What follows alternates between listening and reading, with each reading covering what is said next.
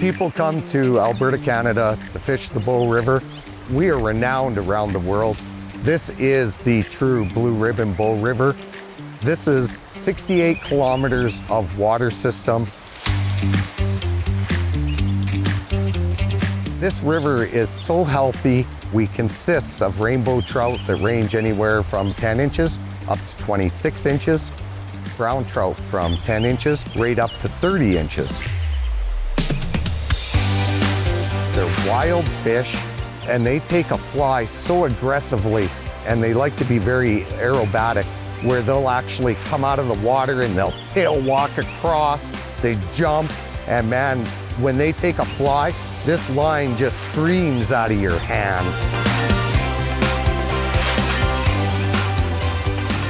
One thing about fly fishers, our culture, our community is absolutely the best you'll ever find. There isn't a fly fisher that you won't meet that they come up to you and sit down and go, hey, I'm having a really successful day and it's a great day and I'm using this. And, you know, do you have any of these bugs? Uh, no, I don't. Well, here, borrow some of mine, you know, and, and tie it on this way and, and, and use this method and see how things go. It's a great culture, a great community. We're so friendly. One of the biggest things we're seeing today in the world of fly fishing is definitely more and more women are becoming so enthused in outdoor adventure.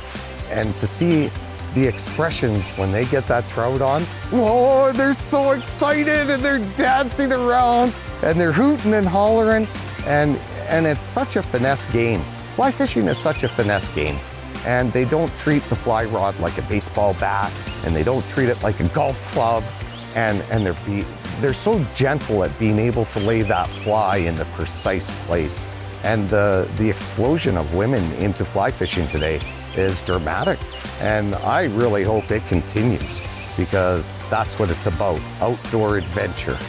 Thanks, Marc and Mandy. I can't wait to maybe see you on the bow one day and definitely some of the pics of your trophy trout.